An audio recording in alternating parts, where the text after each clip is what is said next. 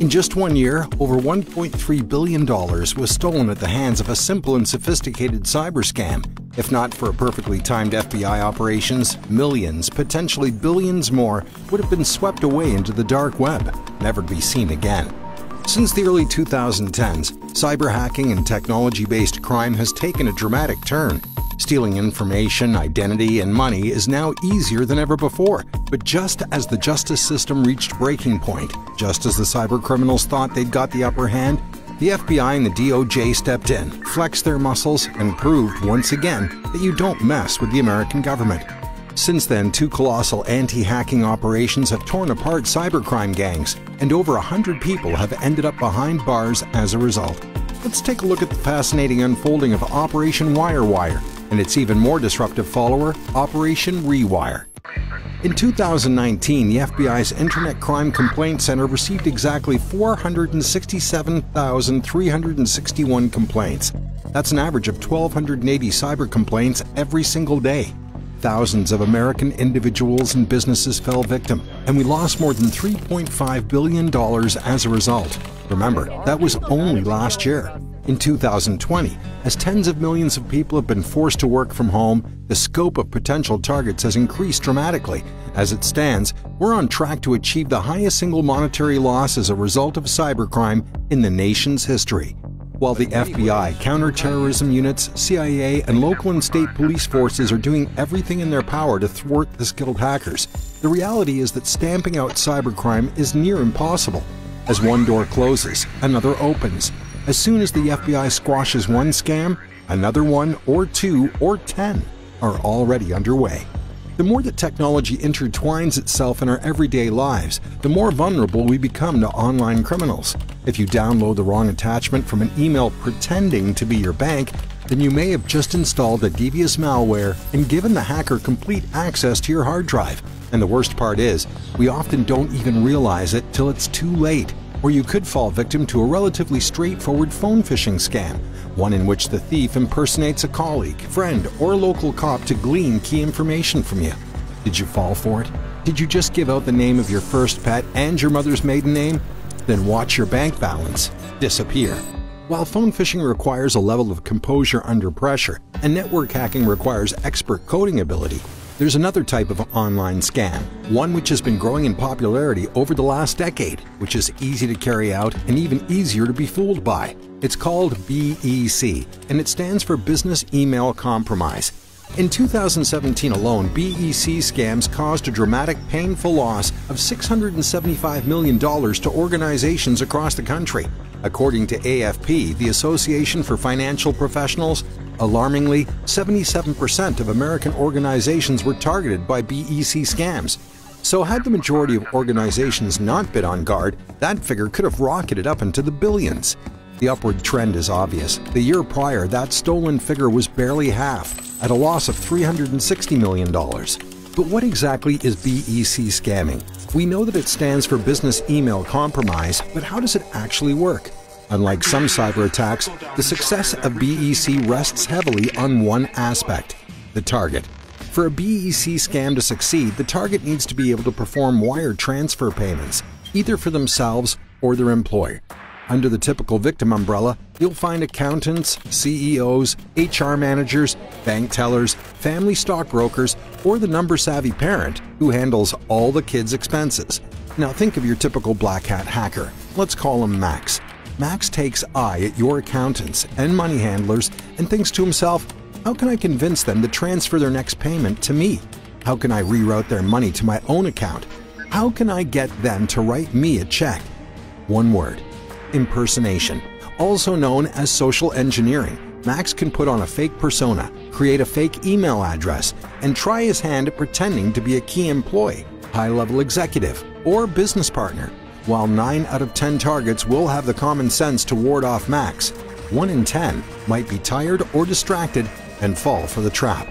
Based on AFP data, 54% of all successful BEC scams resulted in wire transfers, while 34% ended with victims signing over written checks to their attackers.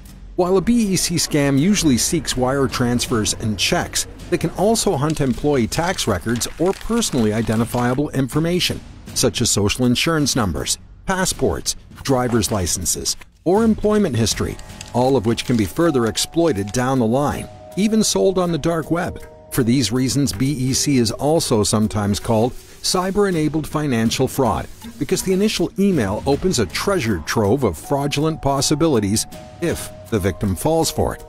Unfortunately, these types of attacks aren't slowing down. In fact, they're multiplying at a rapid rate and causing the FBI a world of trouble. From 2015 until 2017, BEC scams were up a staggering 2,370%, meaning that from 2013 until 2017, $5.3 billion was stolen. Billion with a B. A successful BEC is dangerous not only because of its deception, but also because it can easily intertwine itself with other forms of fraud. Five of the most prominent intersecting methods revolve around romance, employment opportunities, car sales, lotteries, and property rental. Let's take a look at them. Romance scams convince victims into thinking they are in a legitimate relationship, typically with someone who they've met online. Once you trust their partner, you're tricked into sending or laundering money under the guise of some half baked cover story. Employment opportunity scams make victims think they've landed a work from home job. Either this can be a simple ploy to gain personal information, or it can lead to financial gain as well. After you go through the fake hiring process, you're told that you've been sent your first paycheck. However, you've accidentally been overpaid. The fake company asks you to wire transfer the balance of the overpayment, and then, of course, your paycheck never clears anyway. This works in reverse for a rental scam where the scammer agrees to rent a property, sends a bad check with an accidental overpayment to their landlord, and then requests the balance be sent back via wire transfer before the check bounces. Then there's the car sales scam, where you're convinced that you're buying a non existent vehicle and must pay for it by sending a wire transfer in advance, or sometimes the codes of prepaid gift cards. Perhaps the most sinister of them all, however, is the lottery scam in which you're convinced you've won an international lottery. The catch, of course, is that you're asked to pay fees and taxes before receiving the multi million dollar payout, which never, ever, ever comes. Clearly, the scope of the BEC scam is large and fraught with danger, especially when emotion is brought into play with romance and lottery factors. After the theft had hit an all time high in 2017, following continued growth, the FBI needed to step in so when the BEC scams were running rampant, the FBI announced that it was going to put a stop to it all. Too many personal details and too much money was being conned. The FBI could no longer sit and watch, merely tackling small-scale cases as they popped up. So in June of 2018, they launched a large-scale investigative takedown known as Operation Wirewire. Once the operation got off the ground, it had the full support of the FBI's main players, as well as a number of other local and federal and even international agencies. The Bureau's director, Christopher Wray, highlighted his office's determination to bring the criminal masterminds down. The FBI is working every day to disrupt and dismantle the criminal enterprises that target our businesses and our citizens. With the operation in full swing, leading agents began noticing patterns in terms of both the victims and the perpetrators. Let's take a look at the victims first. Surprisingly, one particular business sector saw an extraordinary number of targeted scams real estate. Attacks hitting the sector in 2017 resulted in $56 million loss, an enormous jump from the $47,000 the year prior. In one real estate attack, it was found that a pair of Nigerian nationals residing in Texas had sent a real estate closing attorney an email asking for $246,000 be wired to their account. Convinced that it was common practice, he'd sent over the money before hastily realizing he'd been conned. By the time the bank was notified of the fraud, the attorney had already lost $130,000, with the other 116,000 immediately frozen. In a second attack, a Fort Lauderdale resident used BEC to gain access to the email accounts of a Massachusetts real estate attorney. With that email address book in hand, he attempted to trick the customers into transferring $500,000 to an account for a real estate transaction. With events like these sprouting up left, right, and center, the arrests needed to be made and quick. And that's exactly what the FBI did. In conjunction with law enforcement agents across the country, the FBI executed over 51 domestic actions. That means search warrants, warning letters, and asset seizure warrants. A number of district attorneys' offices charged 15 alleged money mules for their role in defrauding victims. Money mules typically keep a fraction of the cash for their trouble and then wire the money as directed by the fraudster.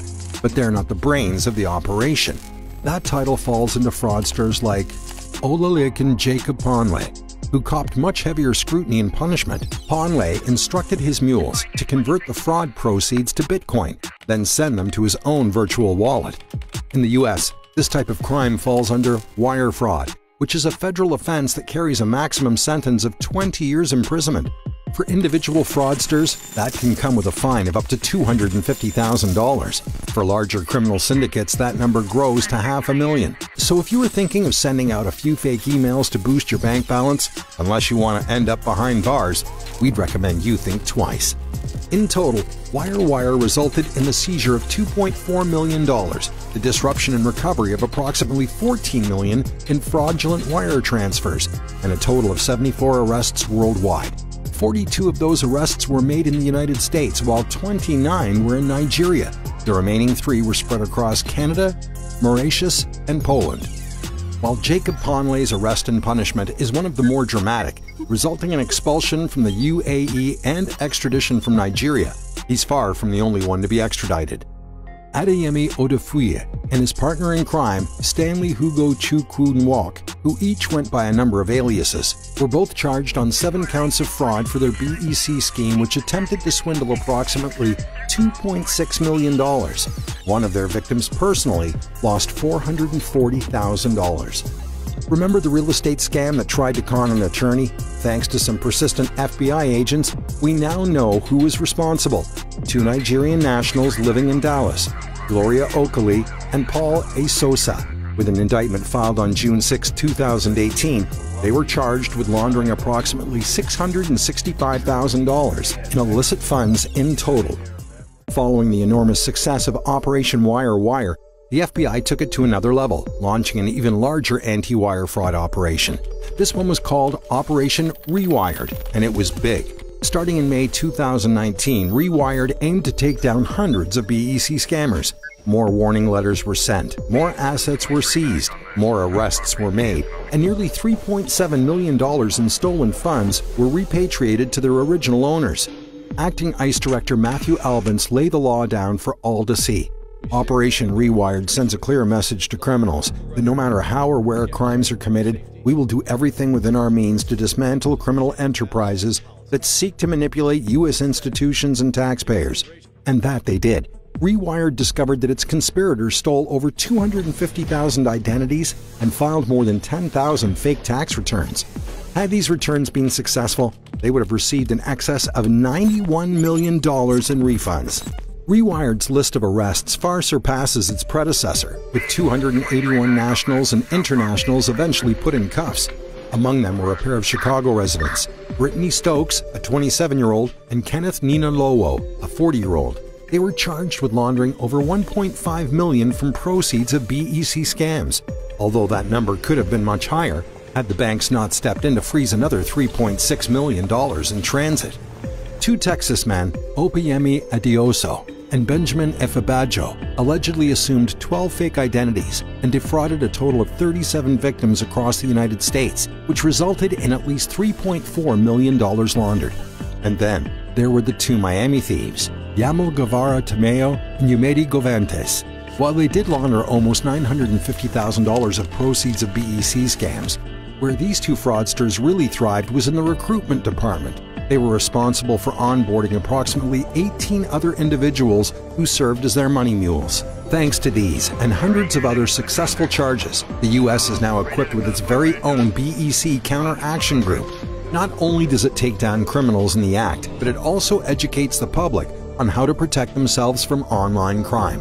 And just because the operations have already brought down hundreds of domestic and international scammers, that doesn't mean that the FBI is slowing down anytime soon. FBI Director Christopher Wray made that crystal clear. We'll keep coming after you, no matter where you are. And to the public, we'll keep doing whatever we can to protect you.